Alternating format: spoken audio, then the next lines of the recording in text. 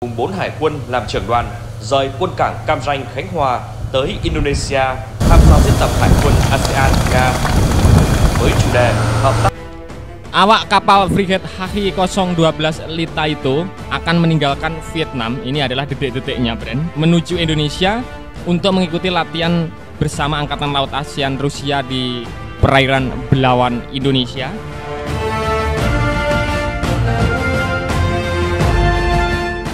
Ngausut punya usut, kapal frigate HI-012 Lita itu telah tiba di Indonesia, dikabarkan telah tiba di Indonesia. Kapal meninggalkan pelabuhan militer Kamran di Provinsi Kanhua Tengah pada Selasa sore menuju Indonesia untuk berpartisipasi dalam latihan Angkatan Laut ASEAN Rusia. Yang pertama dari jenisnya yang diadakan untuk memastikan keselamatan kegiatan ekonomi maritim dan navigasi sipil. Jadi yang wajib kalian ketahui, Brand, Vietnam adalah pertama negara ASEAN yang sudah menuju Indonesia dibandingkan negara-negara lain seperti Malaysia, seperti Timor eh maaf kok Timor Leste, seperti Thailand maupun angkatan laut ASEAN lainnya.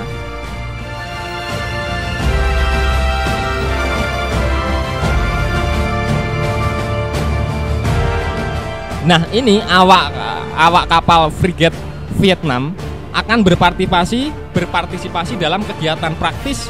Jadi seperti komunikasi, formasi, pencarian dan penyelamatan dan saling menyapa di laut selama acara di perairan Indonesia menurut surat kabar Angkatan Laut Vietnam.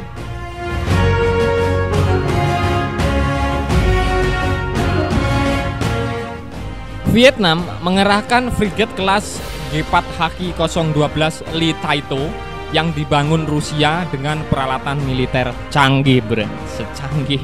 Pokoknya canggih lah. Ini tidak seperti ya negara-negara tetangga kita lah menjamu bomber Amerika menggunakan pesawat Rusia kan nggak etis. Jadi Vietnam ini biar tidak dikatakan semprul sama Rusia, jadi menjamu kapal perang Rusia di Indonesia ini juga menggunakan frigate kelas G4 Haki 012 buatan Rusia juga. Jadi biar tidak dikatakan semprul nanti brand bercanda. Nah, pada Mei tahun 2006 Vietnam dan Rusia menandatangani kontrak senilai 350 juta untuk dua frigate kelas G4 yang dikirim ke Indonesia ini. Jadi 350 juta US dollar ya, brand bukan juta rupiah. Kapal-kapal tersebut dikirim ke Angkatan Laut Vietnam pada Maret tahun 2011 dan dinamai Raja Vietnam Din Tien Huang dan Li Taito. Haki 012 Li Taito dirancang untuk melakukan pencarian juga melacak dan menghancurkan kapal target terapung dan patroli perairan teritori serta area ekonomi khususnya. Kapal dilengkapi dengan teknologi siluman untuk meminimalkan deteksi oleh radar musuh. Jadi seperti itu, uh, sedikit kecanggihan dari frigate Haki 012 Lita itu.